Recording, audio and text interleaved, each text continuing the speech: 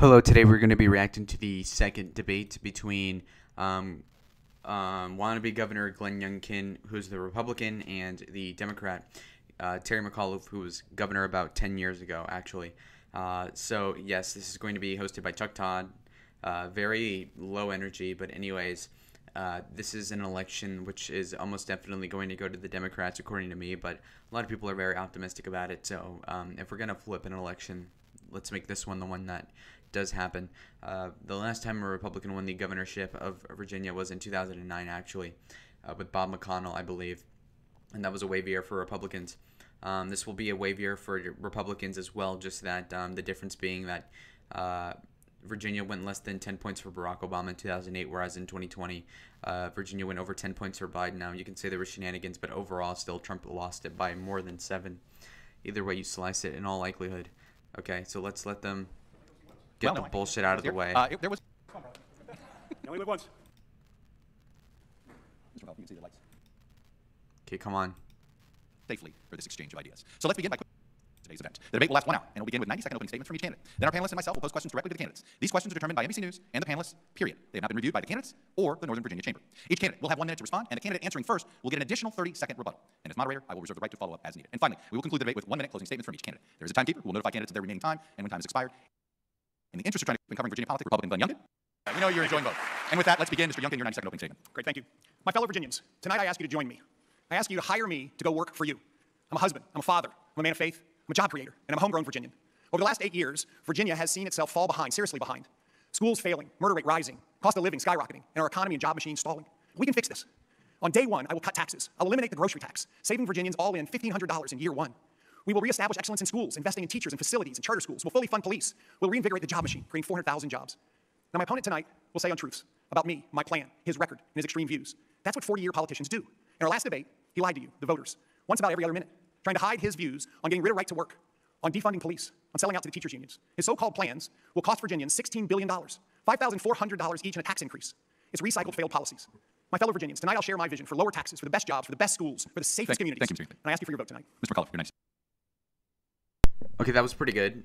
He really made it a broad appeal that was Republican oriented, and that was pretty flawless. Not bad. Thank you. I'm so excited to be with everybody tonight. I was honored to be your 72nd governor. And if you remember when I took office, I inherited a economy that was in chaos. I got to work. I got out of bed every single day fighting for you. I worked in a bipartisan manner, and guess what? We created 120,000 new jobs. Personal income went up 14%. But now we have COVID, so we've got new challenges. So I've got 20 very serious plans of how I will lead us out of this COVID pandemic. I talk about raising the minimum wage, paid sick days. Talk about healthcare, bringing those costs down, and making sure we drop the costs on prescription drugs. I did a billion dollar investment in education last time I was governor. I'm going to do two billion now to make sure our children are getting the skills they need in order to be successful. But none of this works if we don't defeat COVID. And I'm running against a candidate who actually has been spreading anti-vax rhetoric throughout the Commonwealth of Virginia. We cannot move this economy forward and keep our schools open if we're not getting our folks vaccinated. He doesn't believe nurses and doctors and teachers should be vaccinated. I do. He goes on right-wing radio and says, quote, you don't want it? Don't take it. He was also recently quoted saying, you know, there's many good reasons why you don't need to get vaccinated. He told college students, if you don't want to get it, just file an exemption for whatever the reason. And he just said that nurses working in cancer facilities on individuals who are getting chemotherapy don't need to be vaccinated. I will defeat COVID as your governor. It'll be my top priority, and we will build a All strong right. economy. Thank you, gentlemen. Thank you. Look, we're going to begin with the COVID pandemic. Uh, obviously, it's infected 840,000 Virginians, killed more than 12,000 in the state. Uh, this is the clear difference right now between the two of you uh, is on the issue of vaccine mandates, as, as just been brought up. Mr. Youngkin opposing them, Mr. McAuliffe supporting them for all workers who live in the state. So, Mr. Youngkin, you get the first question. You personally favor being vaccinated, but believe it should be a choice. But why should state teachers, healthcare workers, and other essential employees be allowed to do their jobs unvaccinated? Well, just to reiterate, uh, I actually believe that everyone should get the vaccine, despite the fact it's the most egregious untruth that my opponent continues to say about me. I've gotten the vaccine, my family has gotten the vaccine. It's the best way for people to keep themselves safe. And I, in fact, have asked everyone in Virginia to please get the vaccine. But I don't think we should mandate it. And I think we find ourselves at a moment where my opponent has said, he's looked at the television screen and he has said, if you don't get the vaccine, it'll make your life difficult. He wants employers to fire employees who don't get the vaccine. At a time when we are trying to come out of this pandemic, we're ranked 44th in the nation in job recovery. We need those healthcare workers. We need people on the job. To make their life difficult, that's no way to go serve Virginians. We can do this. We can, in fact, protect lives and livelihoods. And as governor, that's what I'll do in Virginia. Uh, Mr. McAuliffe, you're one minute. Let's be clear. Glenn Youngkin is the one who's been lying to you. He goes on right-wing radio and does his right-wing rallies and tells his supporters, his quote, if you don't want to get it, don't get it. You can't be governor saying things like that. That is disqualifying.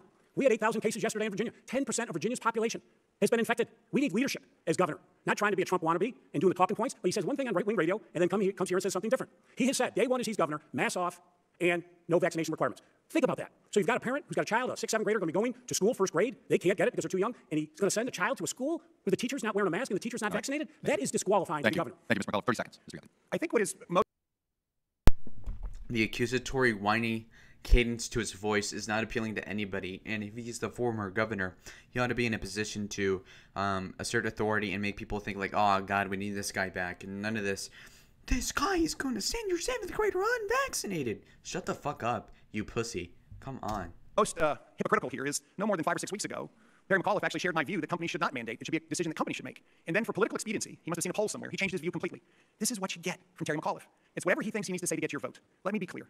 I believe the vaccine absolutely saves lives. I think the last 20 months has been an absolute tragedy. And I look forward to working with Virginians to get people vaccinated I and to help people live their lives. Quick follow-up to you, Mr. Do you believe getting vaccinated for measles, mumps, or rubella is a personal choice for Virginians? I think, I think that the, the, that the uh, uh, data associated with those vaccines is something that we should absolutely understand the difference between this vaccine. And we have a moment here. We have a moment here to help people understand the real information in this vaccine. So you would keep those vaccines mandatory? So that we could. So that Those vaccines mandatory, but not COVID? Those vaccines, those All right. vaccines should, can be mandatory. I do believe the COVID vaccine is one that everyone should get, but we shouldn't mandate it. All right, I want to move to the next question, Mr. McAuliffe. This one goes to you first. Uh, your opponent's ads have said you're too dangerous for Virginia, pointing to the fact that during your Okay, that's interesting. So he basically um, uses the rhetoric of okay. So, this is really funny because they're already screwing him. It's been less than ten minutes, and already we have a triangulation against Youngkin, and even the phrasing of the question from Chuck Todd is very unfair. I say this because he necessarily says, "Okay, well, you support these old vaccines that have been around for 50 years. Why don't you support mandating the COVID vaccine?" The obvious response would be, "Well, obviously the COVID thing is less than a year old, and I don't want to force that on people." Whereas the measles and the polio vaccine has been around since like the Second World War era, so it's ridiculous to assert what you just said as being comparable at all. But of course, he can't say that because that's too base for Virginia. So he says, "Oh, well, I believe in the vaccine." So, meh. first term as governor, murders per year, percent, and rapes rose by nearly uh, 30%. What responsibility do you bear for this increase in crime, and what would you do to reduce the rise we're seeing right now today? First of all, as governor, your job is to keep your community safe. As governor, I invested in our state police, our law enforcement, our sheriffs. I got a thousand sheriffs off of food stamps when I was governor. And guess what? Virginia had the lowest crime rate of any major state in the United States of America. I'm proud. I'm the first governor to ever become an honorary sheriff from the Sheriff's Association. But if you want to talk about keeping people safe, we got to keep guns off the street. And Glenn and I differ. He has said publicly that there is not one single gun protection bill that he supports. And then he said, let me be clear, none. We've passed background checks and I support it. After the tragedies of Virginia Beach and Virginia Tech, we need to get guns off the streets. Today in Virginia, if a spouse goes on social media and says, I am going to kill my spouse, we can go in and take that gun away. Glenn Youngkin will roll back all common sense gun protections. So he'll not have background checks. And guess what? Criminals will get guns, they'll kill civilians, and they'll kill law enforcement. Thank he you. is too dangerous to be governor of the Thank you. Mr. Youngkin. All right. All right. Thank you. Thank you. Let's give this a minute. Let's agree. I agree. All right. Thank you. All right. All right. All right. Security.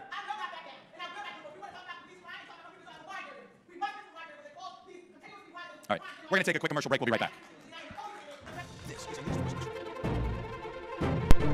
Black women are crazy. What the fuck was that? Neither candidate responded in a way that was noteworthy. That's interesting. Chuck Todd completely beta bitch. I would have said, "You fat black bitch, shut the fuck up." Just let me know when we're back from commercial break. Get this fucking Goliath the fuck out of here, bruh. What's going on? And now we know why we should have stayed in Capital One.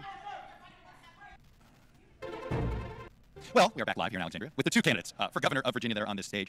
Now it's your one minute, and there'll be a 30 second. because the murder rate went up 43% when he was governor, and the rape rate went up every year. Law enforcement has universally supported me. 50 sheriffs have supported me. Four sheriffs have joined the Republican Party. The Fraternal Order of Police endorsed me yesterday. The Police Benevolent Association has endorsed me. Law enforcement community wholeheartedly trusts that I will do the right thing. We'll invest in law enforcement. We'll protect qualified immunity. We'll invest in a broken mental health system. We'll make our community safe again. What Mr. McAuliffe actually endorses is, in fact, a, a parole board that sacrifices the rights of victims in, in turn to protect criminals. I all believe in second chances, but we have to protect Virginians. And on day one, we're also going to replace the entire parole, parole board. Mr. McAuliffe, 30 seconds. Thank you. As I mentioned earlier, let the facts determine here. We had the lowest crime rate of any major state in America when I was governor. Not the second lowest, not the third lowest, not the fourth lowest, the absolute lowest. That took a lot of work, and I leaned in. And I'm very proud as governor.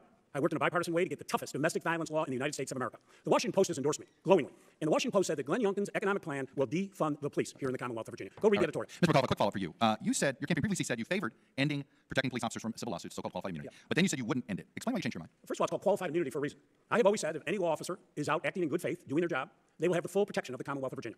But if there is a law enforcement officer who breaks the law, they get zero protection. That's why we call it qualified immunity. So I've always been 100% for protecting any law enforcement officer every day who's out there, and I'm very proud of the men and women. I have the Fairfax uh, Sheriff, Stacey Kincaid, who's here, is a big supporter of mine. I thank her for being here. But, but if you break the law, Chuck, you're not going to get qualified immunity. We will not protect it. So you don't change, you're, not, you're not changing the law on qualified immunity? No. Okay. Now, you should know that the General Assembly, as you know, has a task force going. They are understand looking at all this, and I'll see what comes to my desk. Julie Carey has the next question.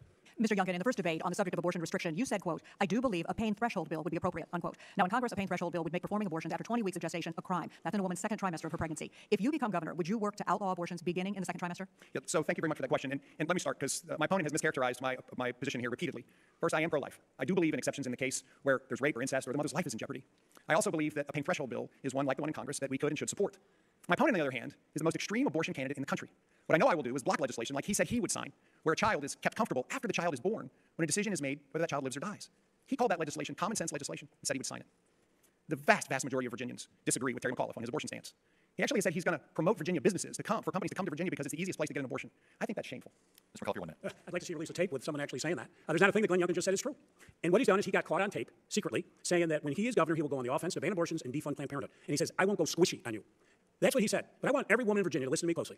I was a brick wall to protect women's rights when I was governor.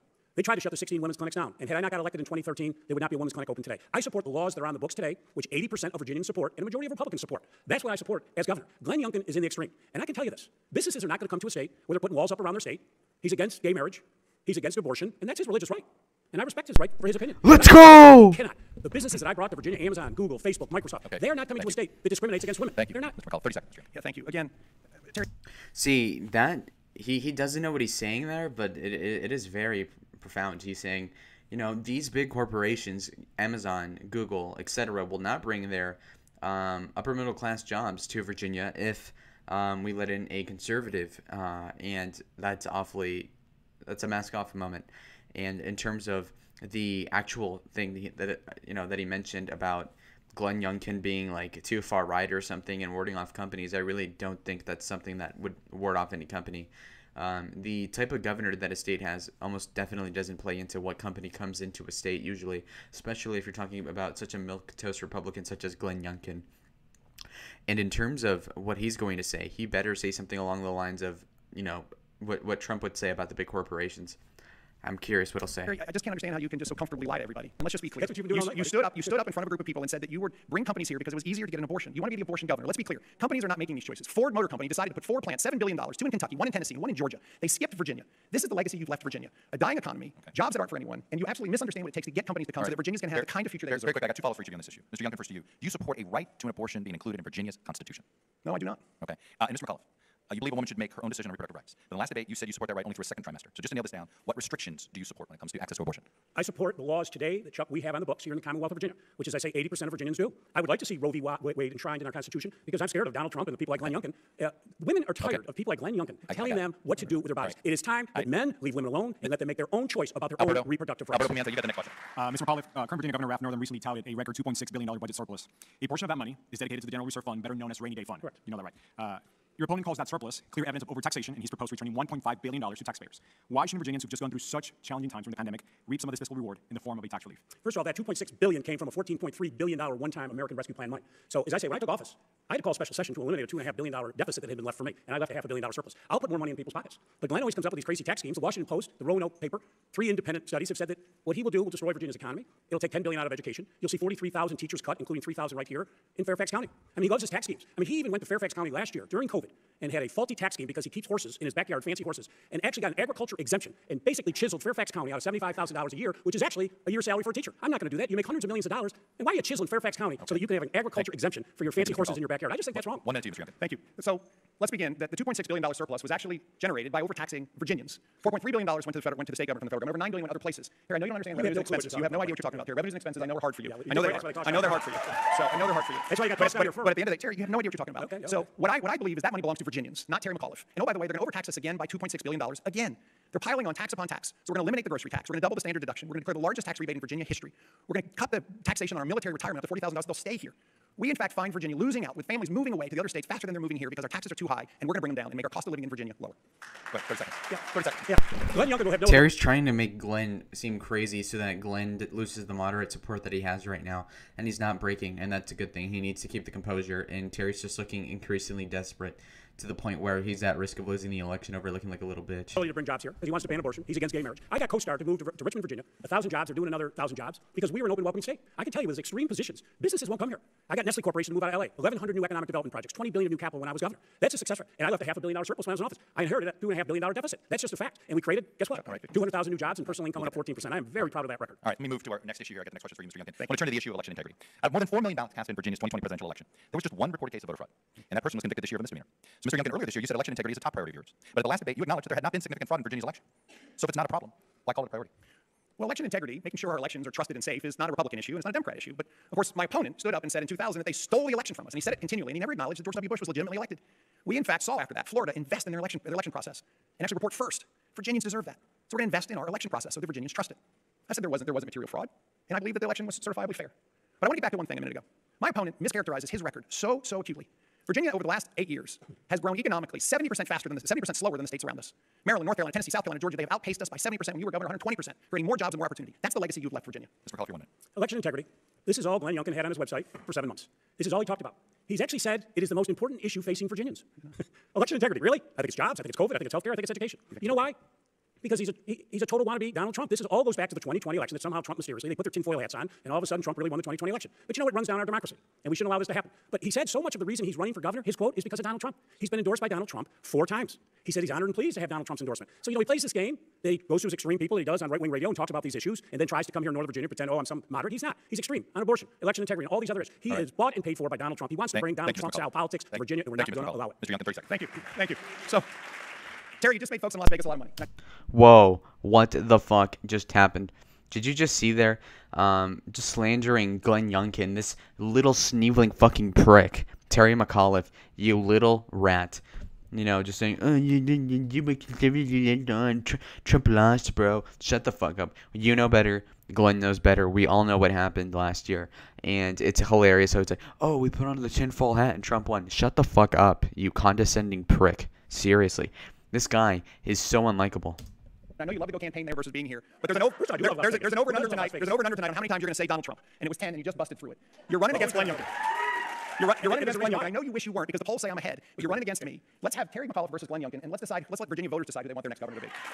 It- it- the, reason, the reason Chuck is, Yeah, uh, let, us be clear. The reason is move to he has question. said he keeps invoking All right. Trump. He's endorsed four times. The only person invoking Trump is you. Yeah. All right, go ahead, Julie, get the next question. You'll both want to hear this. Mr. McAuliffe, your campaign website promises you will implement the Virginia Department of Education's new model policy to protect, protect transgender students. Now, that's a policy that allows students to use the restroom and locker room that matches their gender identity and requires school employees to address students by their chosen pronoun. But in the last debate, you said it should be up to local school districts to be able to create their own policies. So, which should it be, statewide protection or local choice? I like locals having input, obviously, on such an important issue, but the state will always issue guidance, as we do from the Department of Education. But I've said this before. These children are going through very stressful situations. Why people continually want to demonize children, I just don't understand. I want every child in Virginia to get a quality education. I put a record billion dollars in education the last time I was governor. No matter the color of your skin or whom you love, I believe you should get a great quality education. And that's why I've called for a $2 billion a year investment. we got to raise teacher pay above the national average. I want every single student to get access to broadband.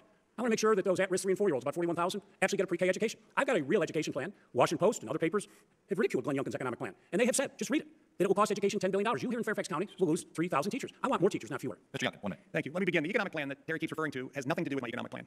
He doesn't like mine because it's better than his, and he picked up another one and is using that for all of these baseless comments. And with regard to our kids in schools, we are called to love everyone, to love everyone.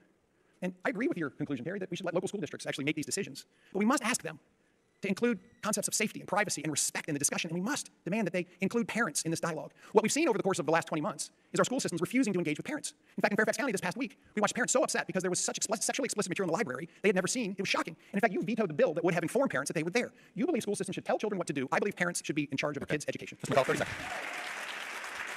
So first of all, this shows how clueless Glenn Youngkin is. He doesn't understand what the laws were because he's never been involved here in helping Virginia. But it was not. The parents had to write the veto bills, veto books, Glenn, not to be knowledgeable about it. Also take them off the shelves. And I'm not going to let parents come into schools and actually take books out and make their own decision.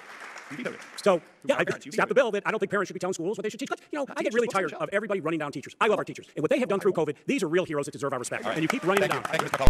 Thank you, Mr. Simp go to the next faggot. Mr. Youngkin, uh, Virginia has extended protections to ensure that Virginia uh, renters are not evicted until June 2022 due to the pandemic. What is your position on evictions? Yeah, I think that there's a really good legal framework in place to provide resources and support for people so that they won't be kicked out of their homes. I mean, we've been through a really, really tough pandemic. In fact, I think it's worse in Virginia than it otherwise needed to be. We're ranked 44th in the nation in job recovery because we have a stalled economy going in, and we actually rank 50th in the nation in freedom coming out. I believe the number one way we're going to help folks with their rent is to give them jobs. Virginia created 44,000 jobs over the last eight years. North Carolina created eight times that amount. Tennessee, six times that amount. It's the legacy that Terry McAuliffe left us. A stalled economy, stalled jobs, fewer jobs today than we had before the pandemic. I'm going to go to work on day one. We're going to not shut down our economy. No lockdowns. We're going to cut job killing regulations. We're going to turn on our job machine and create 400,000 jobs. And I'm going to protect right to work. And Terry McAuliffe's to get rid of it, and it's going to be the death blow for Virginia. Mr. McAuliffe, one minute. Uh, first of all, if you read my plan, I have a whole housing plan. We need to put more money in the Virginia Housing Trust Fund. We've got to work with the federal government, to get more waivers here for us so that we can keep people in their homes. That will be a top priority. Working in public-private, I just met with the leadership of Amazon the other day, just put hundreds of millions of dollars into affordable housing. So we need to do, especially up here in Northern Virginia, we need a lot more affordable housing. I have a whole plan of how we'll do it. Glenn keeps running down our economy. Well, I was working creating jobs. Let me tell you about Glenn's experience here. He took 300 jobs out of Virginia when he was the CEO. He closed the Arlington office, moved him to another state. When he was the chief operating officer, he was running a company called Small Smiles, which actually was cited a huge fine from the inspector general because what they were doing was unnecessary medical procedures on children. 100 cases in Manassas, babies were forced to have root canals, many of them without proper anesthesia. And why? He did it for profit. I was here working here in Virginia to create good paying jobs. Well, he was making billions of dollars thank for the you, Carlyle Group and hurting seniors with ManorCare Thank- and hurting children here with his Thirty- small style uh, dental clinic. We're not going to have that here. 30 seconds, Mr. Gannon. Creating jobs is a lot more than flying around all kinds of places and holding press releases. I mean, Terry McAuliffe used $1.4 million of taxpayer money to pay to a Chinese website that turned out to be a sham. And all you did was have a, have a press conference and fly to China to celebrate it. You lost $1.4 million of taxpayer money and no job showed up. I'm proud of Carlyle. One of the things I'm proud about Carlyle mostly is that when things didn't quite go right, when things were not where we planned, we worked hard to put them right. Okay. We had tens of thousands of employees that worked for companies, and we wanted to serve got- them. A quick, That's what we do. I got a quick 30 seconds. I want to give each of you on this one question. You both live in wealthy neighborhoods. You both live in a wealthy neighborhood. How do you convince wealthy homeowners that affordable housing should be built in their neighborhood too, and they don't fight it because they're worried about property values? 30 seconds to you, Mr. McAuliffe. 30 seconds to you then. Listen, I think everybody here in Northern Virginia understands the desperate need. People who work here shouldn't have to drive two hours uh, to be able to work every single day. So what you do is you work with the local, the cities, and the counties. And if you read my plan, I have a whole program together on regulations and zoning to make it easier for people to build affordable housing. And we'll invest money at the state level through the Virginia Housing Trust Authority so that we will invest with them, incentivize developers to build low-income housing. It is one of the biggest issues that we face here. And, it's, and the reason is so many jobs. I recruited 1,100 Yeah. companies to come to the Commonwealth of Virginia. Mr. I wrote the bid for Amazon. Do you, think your neighbors would, you think your neighbors would support seeing duplexes built? Yeah, I, I think every, I think every part of Northern Virginia has got different zoning requirements, and that is up to the local authorities. I think the biggest challenge we have in affordable housing is the mound of regulations that have been piled on top of businesses for the last eight years that all of a sudden have every house built in Virginia required 20 to 25 percent of the housing cost to, to actually get through permitting and regulations. We actually make it easier to permit, and we can bring down the cost of housing. We need more supply. The bottom line is, the bottom line is that when this economy starts really growing, when I'm governor, as opposed to the stalled Thank- growth when Terry McAuliffe was governor, Thank we're going to have Mr. a bigger problem. We're going to have to go to right. work to create affordable Al- housing for Virginians. Alberto, you get the next question, I believe. Uh, the removal of Confederate General Robert E. Lee statue reminds us. Uh, uh, the removal of Confederate General Robert E. Lee statue reminds us how deeply race is woven into Virginia's history, and that Virginia has sometimes been on the wrong side of that history, whether it's slavery, the Civil War, the state's former interracial marriage ban, or segregated schools. How should Virginia school children be taught about these issues? Yeah, and I was happy those statues came down. They were symbols of hate and divisiveness. And I also leaned in when I was governor. I banned the Confederate flag from the Virginia license plates. I think it's important that we send a message that our state is open and welcoming. But we need to teach our children the full history of who we are as a Commonwealth and who we are as a country. I think it's very important. But those statues needed to come down. As you all know, I was a leader on voting rights. I enfranchised more voters than any governor in the history of the United States of America. That was the right thing to do. I was all about lifting people up, giving people second opportunities. And you know what? That's why I want to lean in and help folks next time. I want to see that we raise the minimum wage. I think it's disgraceful. It's some home health care worker goes in 10 houses a day, cleaning bedpans all day, and she makes $7.25 and she has no benefits. It's time to pay people $15 an hour here in the Commonwealth of Virginia. Treat people with dignity and respect. Mr. Youngkin, one minute. Thank you. Um, what's interesting is how quickly Terry McAuliffe moved off of his statement when he was governor that the Robert E. Lee statue and the Stonewall Jackson statue should be left alone. Teaching our children about racism in our school is a real challenge. I think we recognize that Virginia and America has chapters that are abhorrent. We also have great chapters. We need to teach our children real history. We need to teach our children to come together and have dreams that they can aspire and go get. We don't need to teach our children to view everything through a lens of race and then pit them against one another so that their dreams are in fact stolen from them. On day one, we're going to get education moving. We're going to reestablish expectations of excellence. My opponent watered down standards in schools to the point where our children are falling so far behind the Commonwealth of Virginia. 62% of Virginia kids cannot pass an eighth grade math equivalency test because of the legacy that Terry McAuliffe left us. We're going to go to work and fix that on day one. Once again, Glenn knows nothing about Virginia. Uh, I remind him of the bill that we passed on education reform. I had a Republican legislature. Guess what it passed the Virginia Senate, which was Republican? 40 to 0. It got 85 votes out of 100 in the House of Delegates. You're attacking your own Republican Party, Glenn. It's just, you know, you get your talking points. You understand the law of Virginia and how these things all work. And it, it's just not right. So I will invest in education. I will build up education. And that's what we need to do. And I'm excited about it. But his plan will cut Okay. 43,000 teachers. Don't Thank take you. my word for it. Read the Washington Post. Read the three Thank, independent. thank, thank you, come uh, Mr. McAuliffe. Julie, Do I get 30 seconds? No, that was my Thanks, start. sir. Sorry. Okay, I got one all right. more. Next question, Julie. Yeah. Mr. Youngkin, uh, as you know, thousands of Afghan evacuees are now here in Virginia at Fort Lee, Fort Pickett, and Marine Marine Base Quantico after being evacuated from Afghanistan shortly after the Taliban took control of that nation. Do you support Virginia helping these evacuees resettle here and stay in the Commonwealth? And how should the state do that if so? Yes, let's, let's just start with what we saw happen in Afghanistan. We saw an abject failure of leadership from Joe Biden. He abandoned our military, he abandoned American citizens, he abandoned our allies, and he abandoned Afghans who had gone shoulder to shoulder with us, trying to make a way forward. I think that we, in fact, have to recognize what failure of leadership looks like, and in fact, that Terry McAuliffe describes all of this. We've watched failure in our border down in, down in Texas. It's absolute chaos, open borders. Can we recognize that we're a nation of laws, and we need to make sure that we're processing everyone who comes in? Have they had a COVID vaccine? Here, you want everybody else to get one? Have Afghan refugees got one? Can I do it? I, I, I think. I think we should, in fact, make sure that those that stood shoulder to shoulder with us are welcomed, that they're processed appropriately, and that they can have a home in Virginia. Go ahead, uh, Mr. McAuliffe, one minute. Sure, absolutely. These people help the United States of America, and we owe them a responsibility. So I've always been for it, what we need to do. And let me tell you, we have a lot of brave men and women who have fought for this country. I have a son, Marine captain, who served over in that region, fighting ISIS. And my heart goes out to every single parent who has lost a loved one in the service of our country. There wasn't a day that Dorothy and I didn't worry when our son was over there fighting. So I will always stand with our military and those that assist our military. That's why I was proud as governor We were the first state in America to functionally end veteran homelessness. We were the first state in America to add all these college courses to make sure we could get our veterans jobs as soon as they came out of active duty. First state in America to have our cyber vets. And when I was governor, 26,000 more vets were hired through our V3 program. I love our military, and I'm proud of our military here in the Commonwealth of Virginia. Mr. Youngkin, 30 seconds. Get the extra tape. Today, we see more of our veterans moving away from Virginia than moving to Virginia. This year, it's estimated that 25,000 of our heroes will complete their last posting in Virginia and move away. And they're going to Tennessee and North Carolina, South Carolina, Georgia, Florida, Texas, and Arizona because Virginia is not the right place for them because they can't find a job. We tax their retirement benefits. We made it hard for them to transition from military service to civilian life. I'm going to go fix all of that when I'm governor. We're going to turn Virginia into the most military-friendly state in America. All right, thank you. Uh, Mr. McAuliffe, you get the next question here. When you first ran for governor in 2013, you opposed changing the state's right to work law. During your most recent primary race this year, you reversed course, and you now support it. Why'd you change your mind? So first of all, right to work's not going to change here in Virginia. They finally got a bill up in the House of Delegates last year, and it was defeated 85 to 12. Can't get a hearing in the Senate.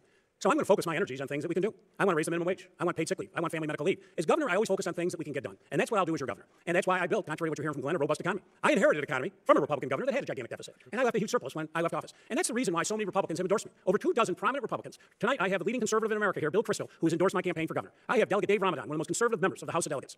He's endorsed my campaign. Former senators, former delegates. Why? They know I'll work in a bipartisan way to move Virginia forward. That's why I'm back running for governor, to take Virginia to that next level. I want to see us lead America out of this COVID crisis. Mr. Youngkin, one minute. Thank you. So let's be clear. The leadership in our Democrat Party today is trying to get rid of right to work. Luke Torian, who is the chair of the Appropriations Committee, said it was a top five issue to get rid of. The Senate Majority Leader introduced the bill last time to get rid of right to work. This bill is going to come to his desk, and Terry McAuliffe will sign it. He said that, and the minute he said he would sign it, every union in America endorsed him. He's collected tens of millions of dollars from them. It'll be the death blow for Virginia business climate. This is why every business organization in Virginia that has offered an endorsement so far has given it to me. Not to you, Terry, but to me. They don't trust you. This is about standing up for what's right for Virginia workers, not forcing them to join a union because you can get, you can get donations from them. We, in fact, have to recognize that Virginia's economy must grow, not be stalled. And we can go to work together to build an economy that will lift up all Virginians. And that's what I'm going to do as your governor. 30 seconds. First of all, I have tremendous business support. In fact, I think of the Schar School who we're at. Dwight Schar, National Finance Chair, Republican National Committee. George Bush's finance chair. One of our biggest business leaders, founded NVR Homes. Who's he supporting? He's supporting me. And why do so? You talk to him, great. What good does that do you? He's supporting, he's already endorsed me. He's already on my public list. Yeah, a lot of unions support me. You know why? I am for raising the minimum wage. He is against raising the minimum wage. He's against paid sick days. He's against family medical leave. You vote for Terry McAuliffe, you are going to get those done, and we are going to lift up workers here in Virginia and make them the best workforce in the United States of. America. Follow you. If, Mr. McAuliffe, if, North, if, if the Amazon workers in Northern Virginia want to unionize, are you going to be there helping them? They make, listen, businesses make their own decision, and uh, employees make their own decisions, whatever they want to do. I'm the governor Well, of everybody here in the Commonwealth of Virginia. you're you wouldn't support employees trying to unionize in I Northern let everybody make their own decision. They got to do their own organizing. Of course, I'm governor. I'm the governor of everybody. All right. I love everybody. I'm a, I'm a lover. Let- let me, uh, Virginia is for lovers. Let me move to a climate change question. This is uh, one minute. We're getting a little low on time, so one minute each of you on this. Uh, Mr. Youngkin, Virginians underpay for flood insurance, but overpaying also could reduce home prices.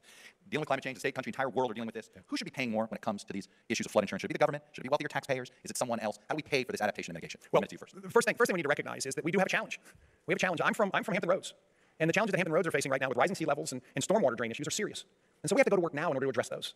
We have to go to work in order to make sure that there's funding available so that they can prepare for rising seas. The challenge that we've got, however, is that the plan that's been put forth with the Virginia Clean Economy Act is unworkable. I've spoken to the heads of the utilities. They don't even know how to do it, dismantling all of our clean burning natural gas. We're going to turn Virginia into California and get ready. Brownouts and blackouts are coming. And the reason why Ford doesn't want to come here is one of them is they don't trust our power supply. We, in fact, need to have a different plan. We need to embrace all aspects of power generation wind, solar, nuclear, and our clean burning natural gas. My opponent wants to accelerate this transition by 10 years, and it will absolutely destabilize Virginia and will cost Virginia taxpayers even more than $800 is expected now. Mr. McAuliffe, one minute to you. I want to see it done by 2035. When I think of clean energy, I think of jobs. Glenn Youngkin said, he just announced again, he's not for the clean plan of the past year. It's the only way we're going to make progress here in the Commonwealth of Virginia. When we finally rejoined the Paris Agreement to join the rest of the world to show that we're serious about it, he said it was totally frustrating that America got back in it. So he doesn't want to do anything on clean energy. I will be the clean energy governor. I've always said this. Let's do it by 2035. The opportunities we have. Yeah, Hampton Roads, they've seen their sea level rise by 14 inches since 1950. I worked hard. The Ohio Creek project that I did with the HUD, $135 million to save an African American neighborhood to build new seawalls. We've got to do that all over Hampton Roads. But when I think about, we have these two new wind turbines that are 27 miles off the coast of Virginia Beach. We're going to have 200 more in three years. I want to see all those turbines, blades. I want that manufactured here. I think the Portsmouth Marine Terminal, I truly believe, can be the green energy manufacturing hub for the United States of America. That is America's future. Right, and Virginia is going to lead the way, and that's going to be hundreds of thousands of jobs. couple quick questions for both of you, 30 Yeah, seconds yeah. each. Mr. Youngkin, should members of Virginia's Republican congressional delegation on Thursday vote for the bipartisan infrastructure bill? Do you want Virginia's Republican members of Congress to vote for that bill that will provide money to Virginia? Yeah, I believe that there is a there is good future in the infrastructure bill, and I look forward to those funds coming to Virginia and putting them to work. And one of the realities is when you have an offshore wind project that I wholly support, but you have people who've never run a business, never negotiated something before, negotiating all of the supply chain is not in America, not in Virginia. We should have negotiated American content, Virginian content in that, and that's what you get when you elect people to office who don't know how to run a business. They end up giving up opportunities and then coming back and trying to make it up after they've missed the boat. All right, before you jump in, Mr. McAuliffe, should do you support the $3.5 trillion package that Democrats are working on in Congress, or do you think that number should come down a little bit? Uh, let me, let me answer. It's so frightening to listen to him talk about Virginia. Con- we don't make it yet. We don't make it in a year in America. This is all a crazy talking points like Trump again. We need to build it here in the Commonwealth of Virginia. We can't do it today, saying we want the content in Virginia. He's just clueless. I mean, it, this is not like a Carlyle, you know, portfolio thing you're trying to sell to investors. I mean, we got to deal with reality here. people with a lot I think the money, 3.5 is too high. Sure. But here's my message to Congress. I'm really sick and tired of all of them. You know what? They ought to follow the Virginia model. When I was governor in a bipartisan way, Chuck, I got education done, I got transportation done, I got veterans and economic done. We got things done. That's why so many Republicans have endorsed me. We do things in a bipartisan way. They got to stop their little All right. shitty chat up there, and it's time for them to pass All it. Let's get this infrastructure bill passed for 30 seconds each.